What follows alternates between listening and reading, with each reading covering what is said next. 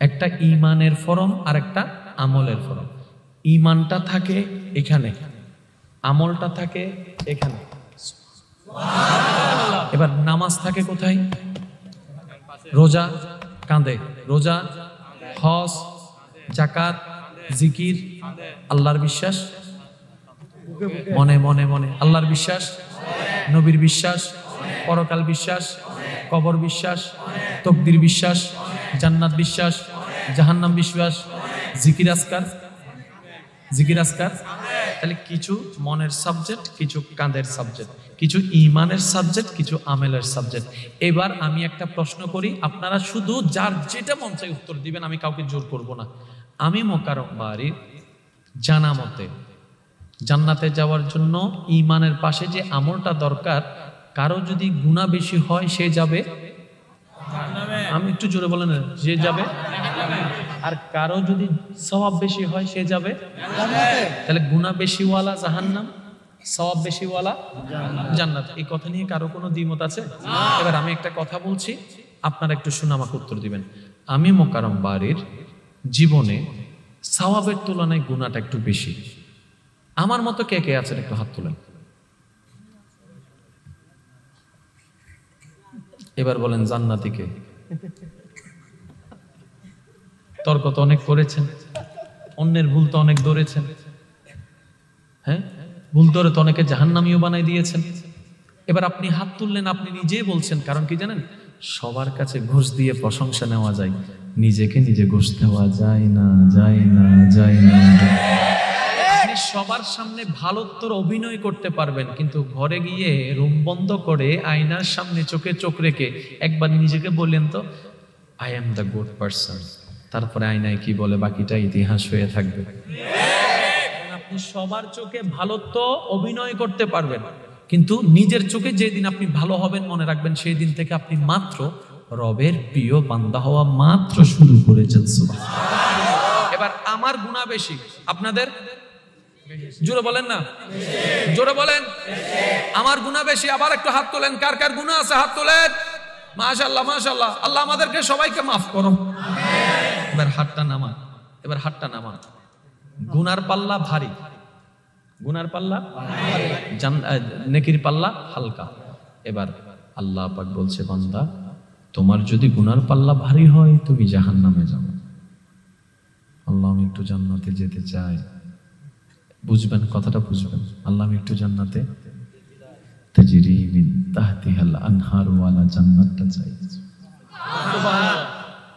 এইবার হঠাৎ করে মনোযোগ না দিলে বুঝবেন না। এবার হঠাৎ করে আমাদের পক্ষ হয়ে নবী রহমতুল্লিল আলমিন আল্লাহর কাছে বললেন আল্লাহ তুমি না আমাকে শ্রেষ্ঠ বানাইলা? তুমি না আমাকে সমস্ত নবীদের ভিতর শ্রেষ্ঠ বানাইলা? তুমি না আমাকে সমস্ত রসুলের ইমাম বানাইলা? তুমি না আমাকে জান্নাতের মালিক বানাই দিলা? তুমি না আমাকে কুল কায়নাতের জন্য রহমত বানাই দিলা? তুমি না আমাকে মেয়েরাজের সুযোগ করে দিলা? তুমি না আমাকে হাবিব বানাই দিলা? তুমি না আমাকে ওমার সাল্লাহ কাইল্লা রহমাতাল্লিল আলামিনের চাদর পরিধান করাই দিলা? তুমি না ইন্না আতাইনা কাল কাউসারের কুঞ্জ চাবি আমাকে দান করে দিলা? মৌলা, তুমি তো আমাকে সবচেয়ে বেশি ভালোবাসছো। আল্লাহ পাক বলেছে হ্যাঁ আপনাকেই বেশি ভালোবাসছি। নবী বলে, আল্লাহ, সবার উম্মতের যে হিসাব, আমারটারও সেই হিসাব হলে তো বরাবর হয়ে গেছে না? স্পেশাল নবীর উম্মত হয়ে লাভ কি হলো?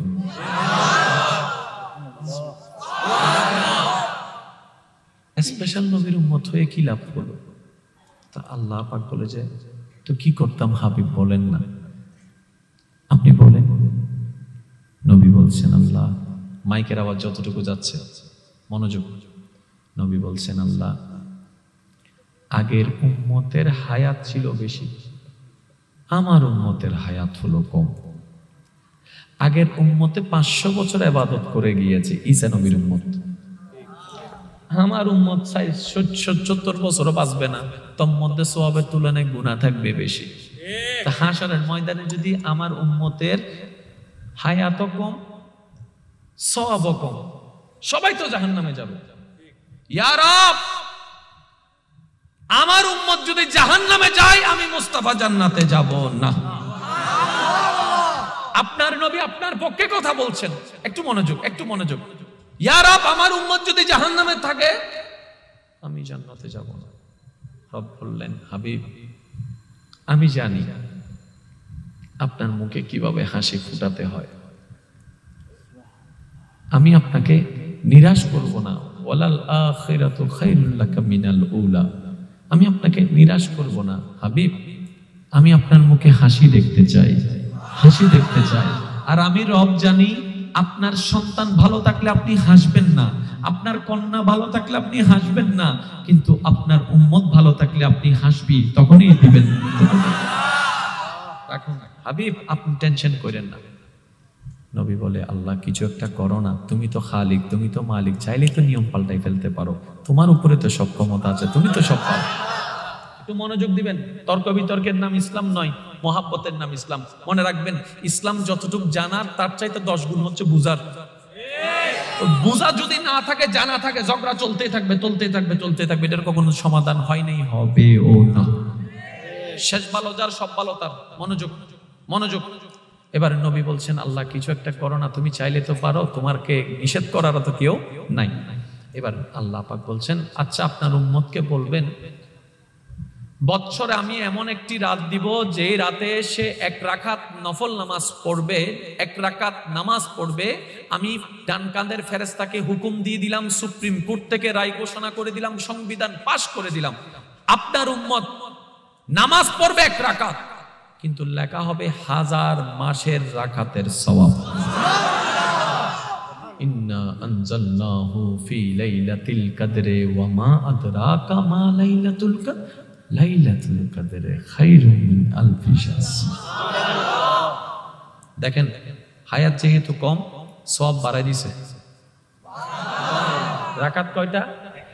কিন্তু লেখা হচ্ছে তিরাশি বছরের বেশি সময় আপনি নামাজ পড়েছেন।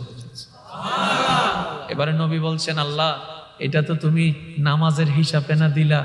একটু রোজাটাও সহজ করে দাও না। কারণ তিরিশটা রোজা বছরে সবাই পায় কি পায় না, আটকায় যাবে। রব বলে আপনার উম্মতকে বলিয়েন রমজানের তিরিশটা রোজা রাখার পরে যে সওয়াল মাসে ছয়টি রোজা রাখবে, আমি রব ফেরেস্তাকে জানাই দিলাম, তার আমল নামায় তিনশো পঁয়ষট্টি রোজার সওয়াব লিখে দেওয়া এবারে নবী বলে আল্লাহ তুমি হজকে ফরজ করেছ সবার তো?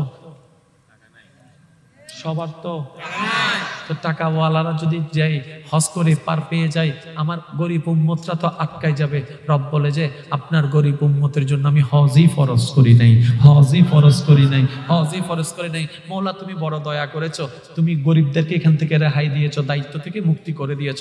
কিন্তু মৌলা, গুনায় না মাফ করে দিলা সবের একটা ব্যবস্থা করে দাও না। তুমি চাইলে তো পারো, তুমি চাইলে তো পারো। এবার রব বলে, আপনার উম্মতকে বলিয়েন, যত ব্যস্তই থাকুক না কেন, বাৎসরে কিংবা মাসে কিংবা সপ্তাহে যখনই সময় পাই, মা বাবার চেহারার দিকে একটু মায়ার নজরে তাকাইতে বলেন, আমি ফেরেস্তাকে হুকুম দিয়ে দিলাম, মকবুল হজের সওয়াব যেন লিখে দেওয়া হয়েছে। দেখেন, কঠিন হচ্ছে না, সহজ হচ্ছে। জোরে বলেন না, কঠিন হচ্ছে না, সহজ হচ্ছে। এবারে নবী বলে, আল্লাহ, নামাজেরটা দিছ, হজেরটা দিছ, রোজারটা দিছ। আল্লাহ নামাজ থাকে, রোজা থাকে বছরে এক মাস। হজ থাকে বছরে একবার, নামাজ থাকে দৈনিক পাঁচবার। তো পাঁচবার নামাজ পড়তে চব্বিশ ঘন্টায় বেশি থেকে বেশি এক ঘণ্টা লাগে। তো বাকি তেইশ ঘণ্টা কি আমার উম্মত? সব থেকে বঞ্চিত থাকতো। একটু এটা একটা করোনা যেন, তেইশ ঘন্টাও সব তুমি চাইলে তো পারো। এবার রব বলছেন, আমি জানি, আপনার উম্মত ভালো থাকলে আপনি ভালো। আপনার উম্মতকে বলে দিয়েন, সকালের ঘুম থেকে উঠে যেন আপনার সুন্নত মোতাবেক সে জীবন শুরু করে দেয়। ব্যবসাটা যেন আপনার সুন্নত মোতাবেক করে, খাওয়াটা যেন আপনার সুন্নত মোতাবেক করে। খাওয়ার আগে যেন বিসমিল্লাটা বলে, খাওয়ার শেষে যেন আলহামদুলিল্লাহটা বলে। রাস্তা দিয়ে যখন বের হবে, আপনার দিক নির্দেশনা মতো করে সে যেন চলে। সে যেন সংসার যখন করবে, আপনার হুকুম মোতাবেক যেন করে। সে যখন স্বামীর কাছে যাবে, স্ত্রীর কাছে যাবে, আপনার আপনার দেখানো পথ মতো যেন করে। সে যখন চাকরিতে যাবে, আপনার দেখানো পথ মতো যেন করে। সে যখন বন্ধুর সাথে মিশবে, তখন আপনার দেখানো সুন্নত মোতাবেক আমল করতে বলবেন, কাপড়টা সুন্নত মোতাবেক করতে বলবেন, টুপিটা সুন্নত মোতাবেক করতে পারবেন বুকরটা সুন্নত মোতাবেক করতে পারেন অর্থাৎ তার যতক্ষণ সে জেগে থাকবে, আপনার সুন্নতকে ফলো করতে বলবেন। তাহলে দুনিয়ার কাজে কাজ হয়ে যাবে, আমি রব হুকুম দিয়ে দিলাম। সওয়াবের ফেরেশতা সওয়াব লিখতে থাকতেছি এবারে নবী বলছেন, আল্লাহ, এটা তো জেগে থাকলে না। দেখেন নবী আমাদেরকে আল্লাহ বিচার থেকে বাঁচাইয়ে আমাদেরকে জান্নাতে নেওয়ার জন্য কত সুন্দর সিস্টেম করে দিচ্ছে। এবারে নবী বলছেন, আল্লাহ, জেগে থাকলে না এই সবগুলা পাবে। ঘুমাই থাকলে সব থেকে বঞ্চিত। রব বলেন আচ্ছা জান, এটারও আমি আইন জারি করে দিলাম। আপনার উম্মতকে বলবেন আগে যেন অজু করে শুই। অজু করে শুই। অজু করে শুই। যে অজু করে শুবে, তার আমল নামায় সারা রাত এবাদতের সওয়াব লেখার ব্যবস্থা তাহলে দিনটাও ক্লিয়ার রাতটাও ক্লিয়ার সংসারও ক্লিয়ার ব্যবসাও ক্লিয়ার চাকরিও ক্লিয়ার সোয়াবে সোয়াব সোয়াবে সোয়াব সোয়াবে সোয়াব এবারে নবী বলছেন, আল্লাহ, কান তো দুইটা, একটা সোয়াবের একটা? এইটা বাড়ি হওয়ার কারণ ব্যবস্থা তো তুমি করে দিচ্ছ দয়া। তো এটাকে একটু হালকা করার ব্যবস্থা করব না। উম্মত না আমার। ওরা জাহান নামে গেলে আমি তো যেতে পারব না তো। এটা একটু হালকা করে দাও না। এবার রব কি করছেন জানেন? আপনার উম্মতকে বলিয়েন, ফজরের নামাজটা পড়ে, জোহরের নামাজটা যেন সে পড়ে। জোহরেরটা পড়ে যেন আসরেরটা সে পড়ে। আসরেরটা পড়ে যখন মাগরিবেরটা পড়ে।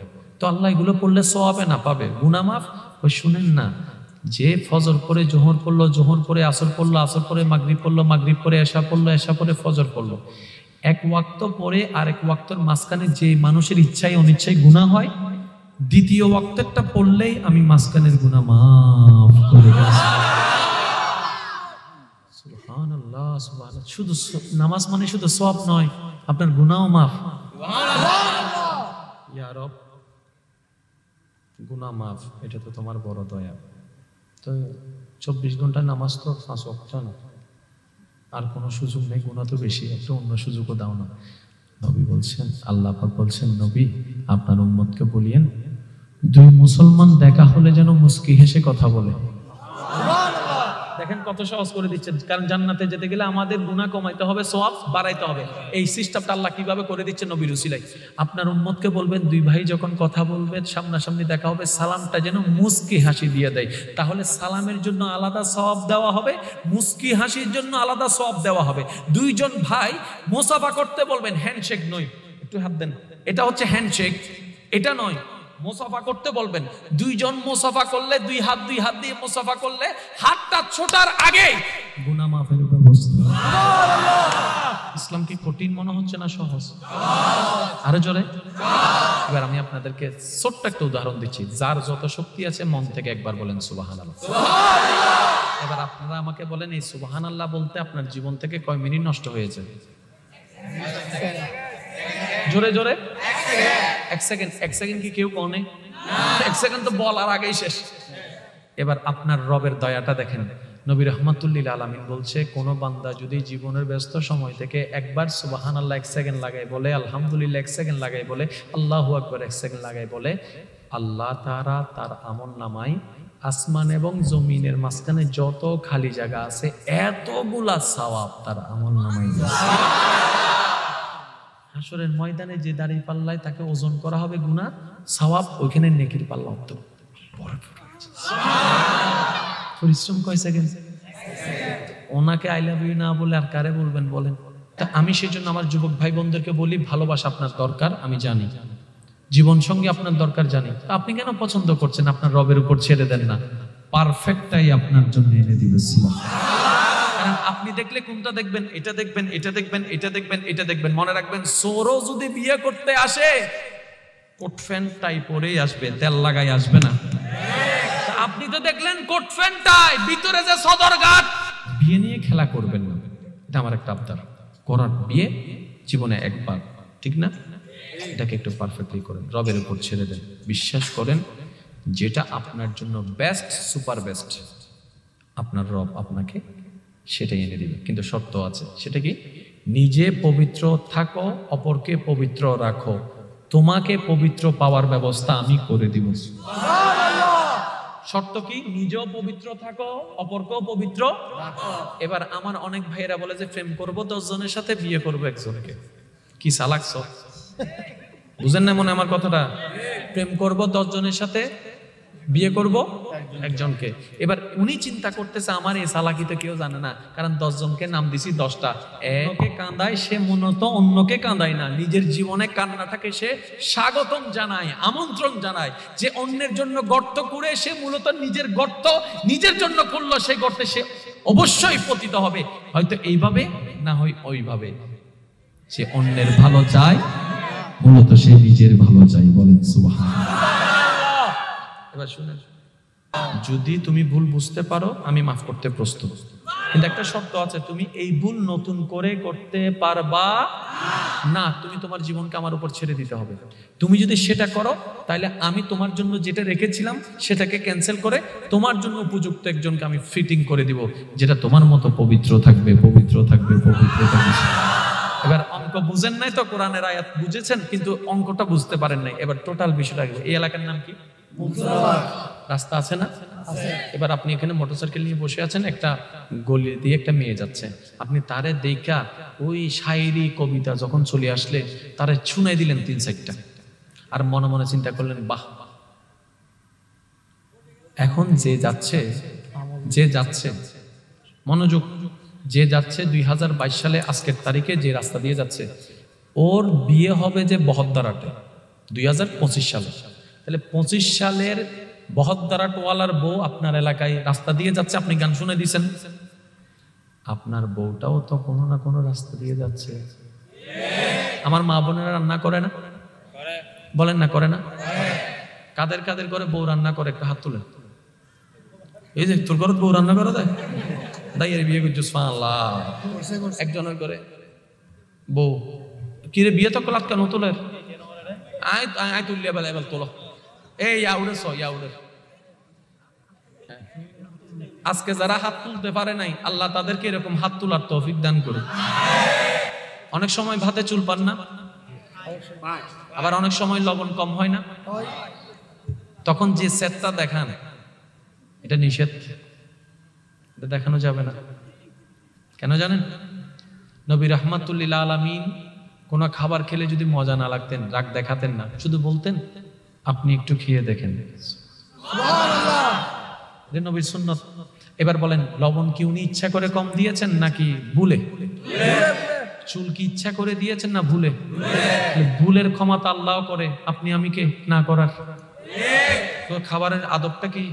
খাবারের চুল পেয়েছেন, ময়লা পেয়েছেন, কেউ না দেখে মতো আস্তে করে সরাই ফেলবেন বুঝতেও দিবেন না। কারণ আপনার বউটা শুধু আপনার বউ নয়, আপনার রবের বান্দা।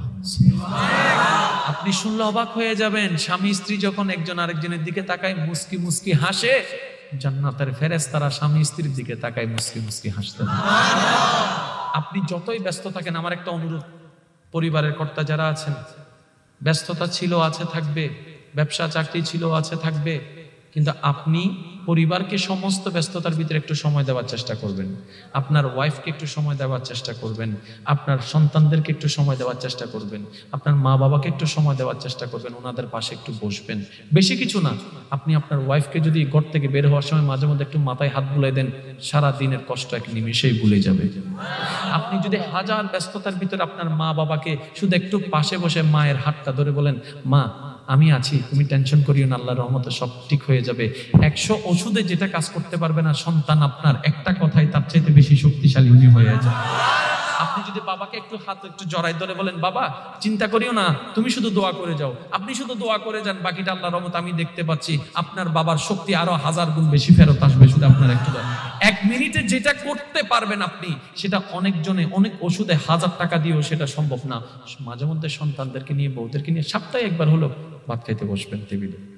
মাসে একবার হলো বসবেন, কারণ এক সময় টাকা থাকবে, এই সময়টা থাকবে না। দুনিয়ার ব্যস্ততায় সব হবে, কিন্তু একটা সময় আপনার ওয়াইফের সে মন মানসিকতা থাকবে না, বাচ্চাগুলা বড় হয়ে যাবে, খেলাধুলা করার সময় থাকবে না।